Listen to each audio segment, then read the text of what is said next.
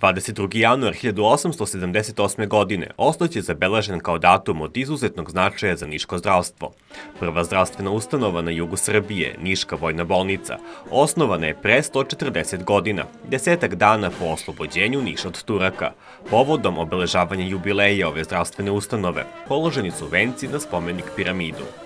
Setimo se 1914. do 1915. godine kada je grad Niš kao ratna prestonica bio okupiran brojnim prilivom ranjenika i izbeglih lica sa severnih delova zemlje Srbije, a u njemu je u tom periodu besnela velika epidemija pegavog tifusa.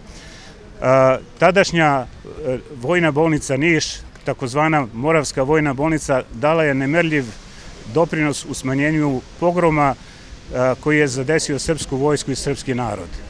Vojna bolnica je danas savremena vojno-zdravstvena ustanova. Uvođenjem novih diagnostičkih i terapijskih procedura, školovanjem kadra, tehničkim opremanjem, unapređenjem uslova i smeštaja pacijenata, neprekidno se unapređuje delokrug rada vojne bolnice, a njeni pripadnici učestvuju i u mirovnim misijama širom sveta. Danas je bila prilika da se poklonimo senima svim herojima koji su dali svoje živote za današnjicu zemlje Srbije. Velika Niška vojna bolnica, kako se nekada zvala, osnovana je odlukom Vrhovnog štaba Srpske vojske na predlog načelnika saniteta, doktora Vladana Đorđevića, koji je bio jedan od osnivača srpske hirurgije i prvi upravnik bolnice.